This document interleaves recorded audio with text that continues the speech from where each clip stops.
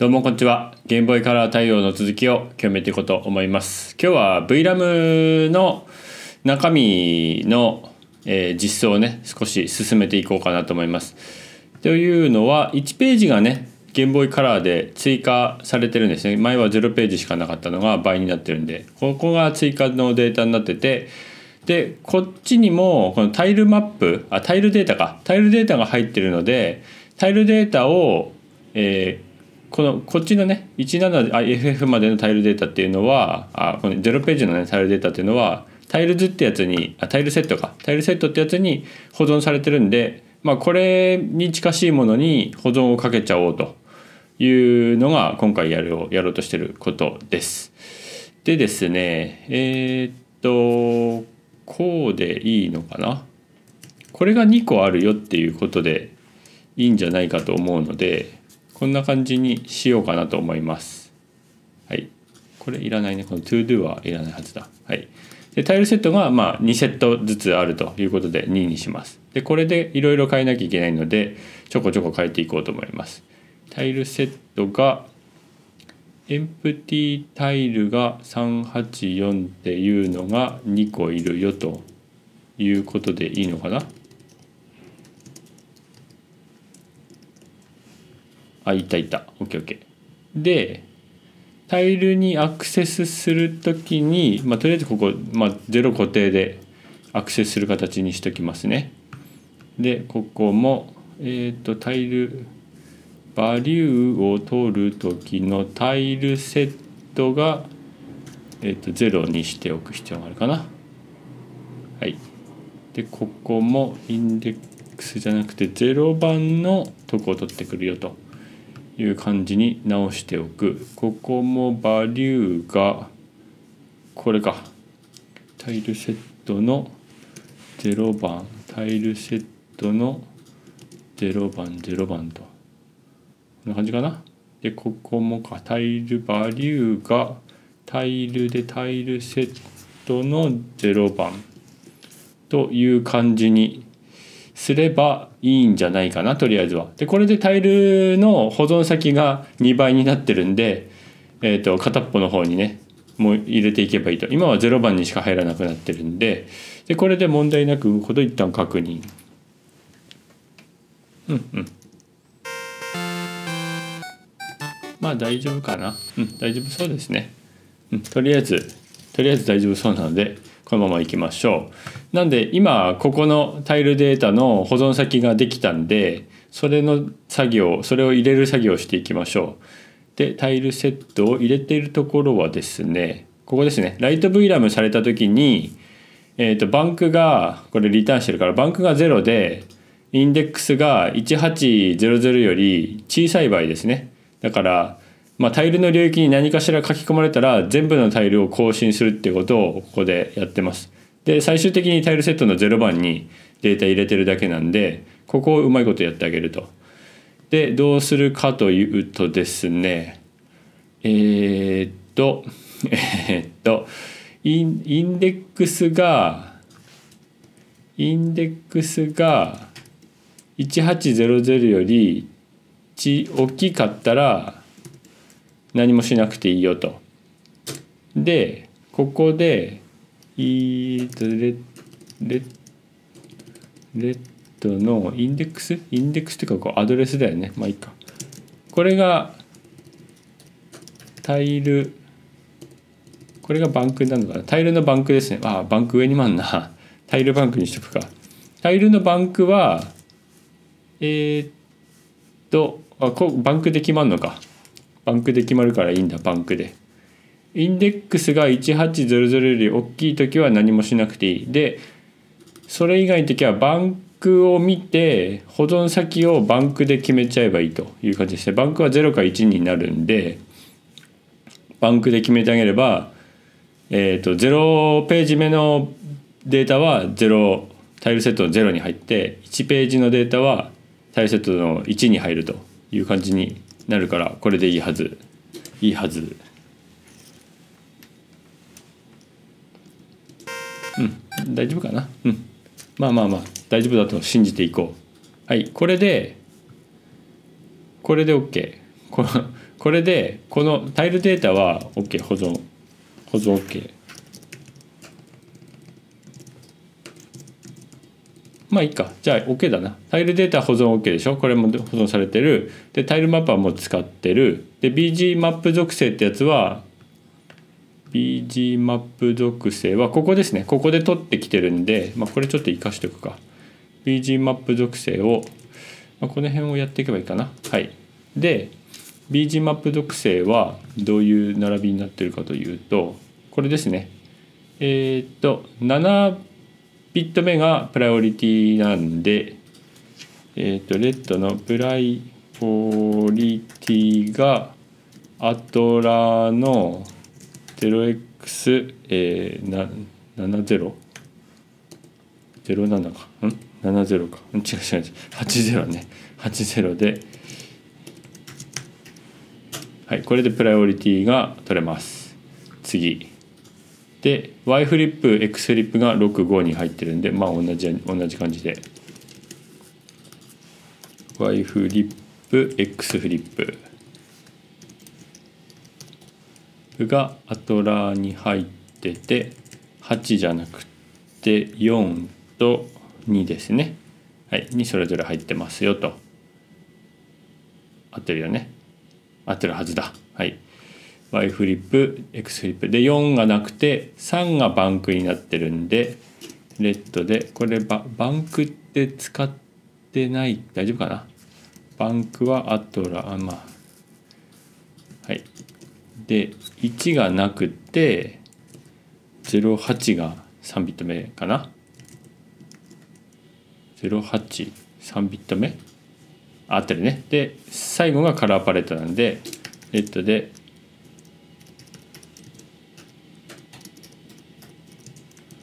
カラーパレットがアトラーの、えー、07ですね。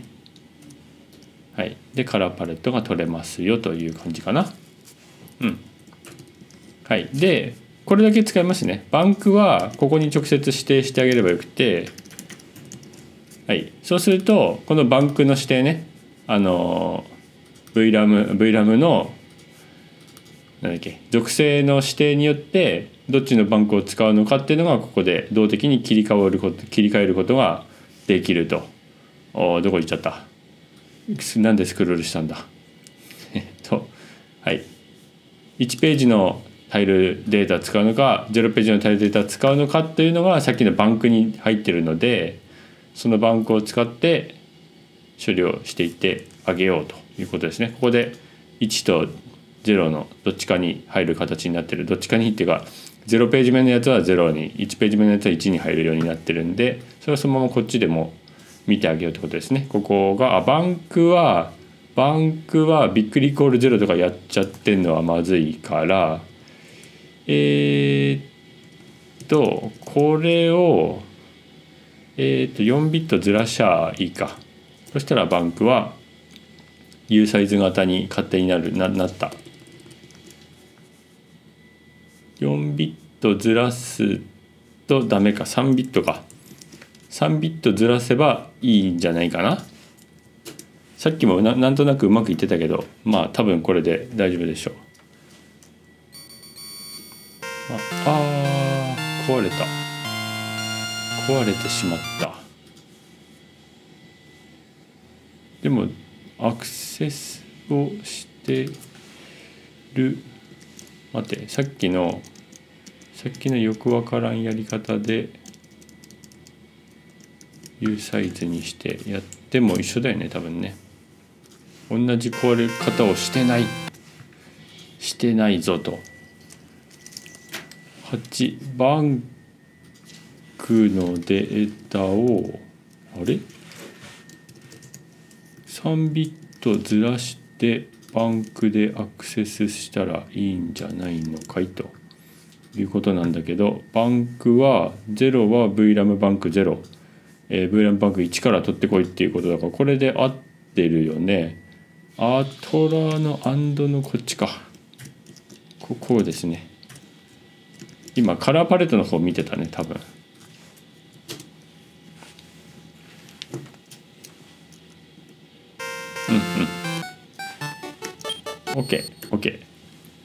OK 多分ねバンクはこれで大丈夫なんでまああとこのああの黄色い波がついてるところを見ていけばいいっていう感じなんですがとりあえずね今日はちょっとここは置いておいてですね今まであの放置してた他のロムが動くかどうかっていう確認をしていこうと思います。でまずはビートマニア、えーと、パスのコピー相対パスコピーか。えー、っとまあ全然やってないんでビートマニアがこれ。はい。であとなんだっけ？ビートマニアドラクエかカエルのためにマリオランドポケモンゴールド。パスのコピー。相対パスコピー。ゴールドにするか。で遊戯王の3と4ですね。えっ、ー、とパスのコピー相対パスコピー。遊戯3とレッドの遊戯4にしよう。はいまあここは何でもいいんでね適当に。パスパパスのパスのコピー。はい OK じゃあビートマニアから。えっ、ー、とね一応言っとくとマッパーが対応してない可能性があるのでそもそも動かんっちゅうのがあるありがちというかあった。ありましたね。えー、っと190500どれだ？えー、とねアンサポーテッドカートリッジタイプになっちゃいました。アンサポーテッドカートリッジタイプははいと。えー、っとね47だから一番上か。19マジ。19が BM ね。19の対応しなきゃいけないんだ。でえー、っとゴールド。えー、っとねだだだだだだ。何個やんなきゃいけないかっていうのがねこれ大事で10いやマジか。これがポケモンゴールドね。あと1個であってほしいな。遊戯王の3と4は同じであってほしいな。これが 1B ね。全部ダメだ。1B が遊戯の3でえー、遊戯の4も 1B でやってくれ。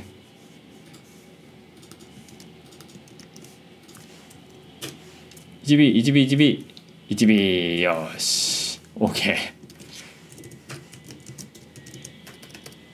はい。ということで3つ対応しなきゃいけないんで3つちょっと見ていこうか。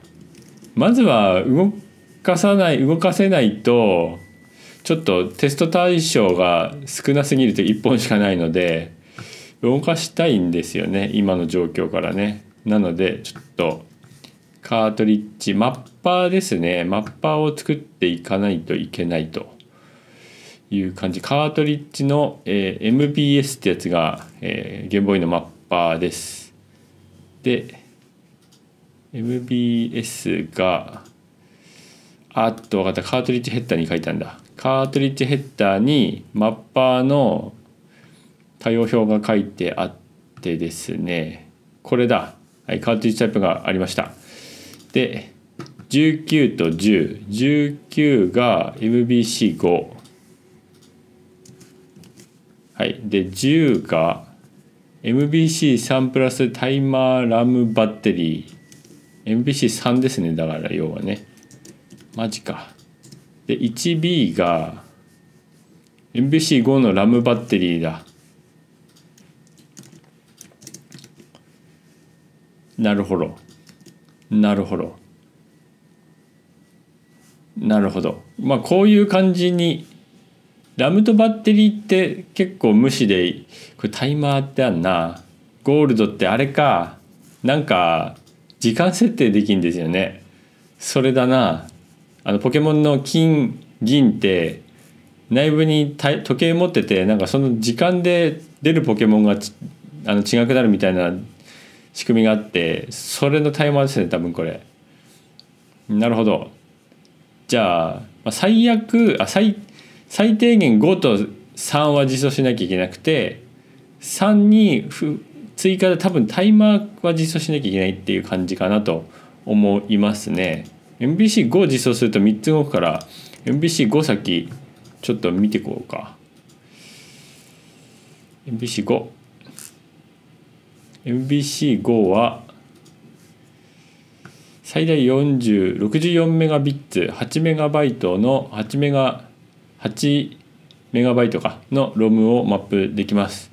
MBC5 は4世代の MBC です。日本文化における数字の4に関する迷信のためか MBC4 はえ？わお本当だ。なんで？そんなそんなあそうなんだ。存在しなかったようです。GBC これこれなんか偶然な気がするけどね。そこまでこだわらんだろう。4ってねプログラム界隈だと逆にいいみたいなとこあるから248とかは。GBC 倍速モードで正常動作することが保証されている最初の MVC おおおそうなんだ。うん。あれ？ちょっと待って。ポケモンゴールドって両対応ソフトだっけ？あそうか。うん。じゃあ基本的には3じゃなくて 5, 5か。5を使うのがそのゲームボーイカラーの倍速モード使う前提だったら5を使わなきゃいけないんだ。だポケモンゴールドってもしかしたら倍速モード使ってないのかな？色つけただけみたいなとこあんのかな？かもしんないですね。そんなになんかめちゃめちゃ重たい処理とかなさそうな印象だしな。まあまあいいでしょう。でメモリーがえー、と000から 3FF で、えー、ロムバンク0でロムバンク400から 7F がロムバンクのもう一個。で MBC1 と同じですがバンクが 1FF までのアクセスがサポートされるようになりました。またバンク0は実際にはバンク0です。あなるほど。バンクバンク0バンク0っていうのも指定ができるように一応なってんだ。なるほど。で A00 から BFF がラムバンクでこれは、えっと、ラムサイズが MBC1 と一緒。ラムサイズちょっと待った。ラムサイズが 832-128KB であることを除きか。あじゃあいいんだいいんだ。いいじゃんいいじゃん。ほとんど MBC1 と一緒じゃね？これ。000から 1FF はラム有効ほぼ一緒。MBC1 えっ、ー、と 0A を書なんか若干違うっていうのが怖いんだよな。外部ラムの読み取りと書き込みが有効になります。それぞれ書き込むと無効になります。実際 MVC は解4ビットが A つまりダラ A ダラ 1A などに1つ当たり書き込むときにえああなるほどね。解の4ビットだけが大事だよってことね。ラムを有効にしそれが値書き込むときにラムを無効にしますと,、えーと、200から 2FF がラムロムバンクの解8ビット。はいはいはいはいはいはい。1FF までアクセスできるから2個必要なんだね。ロムバンクのビットのちょところがね。で MVC、0を書き込むと他の MVC と異なる MVC5 ではバンク0になりますはいはいはいはいそういうことねさっきのここの話だあの普通えっ、ー、とワーキングラムもそうでしたけどあのこっちに0がマッピングされてるからこっちに0だっつっても同じのがななっちゃうから0って言われても1をマッピングするってなんか親切設計になってたんですけどそれがないってことですね。もう0って言われたらそのまま0っていう形になってると。はいと。でロムラムバンクうんと9ビット目。でラムバンク番号がここに入るよと。いうことで。あいいいいいいじゃないか。ランブルとかはまああんまり関係ないかな。これはなんかもうちょっと機械的な話なんで多分エミュレーター上は関係ない。あいいねいいね。じゃあ MVC5 は MVC1 の拡張みたいなやつなんで結構簡単そうです。で MVC3 MVC3 ちょっと時間オーバーするけど MVC3 だけちらっと見して。MVC3 は、えー、と最大 2MB ROM および 32KB RAM およびタイマー。タイマーがタイマーが大事なのかなこれ。MVC3 には最大 2MB の ROM32KB の RAM にアクセスできるほかリアルタイムクロップ。これですねこれねこれ。これが内蔵されていると。でリアタイムクロックは外部の 32.748kHz クォーツ発信機と外部バッテリーが必要ですと。まあこの辺は関係ないから今回は無視でいいですね。まあリアタイムのクロックがあるよと。でメモリーがあって、えー、一緒かな？この辺はロムバンクの0ロムバンクの1えっ、ー、と1から 7F か。でラムバンクがあって存在する場合ね。でレジスターがあってなんか書いてる、まあ、MVC1 と同じって書いてますね基本はね。うん。でレジスターがあってリアルタイムクロックのレジスターがあるんでこれが注意か。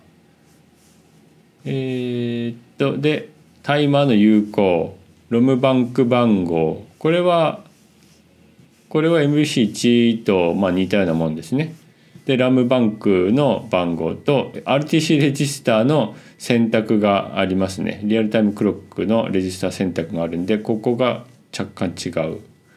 でラッチクロックデータっていうのがまたあるけどこれも RTC にうんなんかちょっとあ現在時刻が RTC レジスターにラッチされますされません。されまされます。ラッチデータ。まあリアルタイムクロック関係が結構複雑に増えてるな。日数カウンターとか結構あんな。うん。なのでそんなに変わんないね。そんなに変わんない。MVC1 とめっちゃ変わるかっていうとそんなに変わんない。若干変わるくらいなんで意外と簡単に実装できそうですね。なんで次回ねマッパをパピャッと作って動くようにしてそこから色付けをね色付けっていうか PPU の回収をしていこうかなと。思います。はい、ということで今回は以上時間お楽しみにチャンネル登録高評価お願いします。では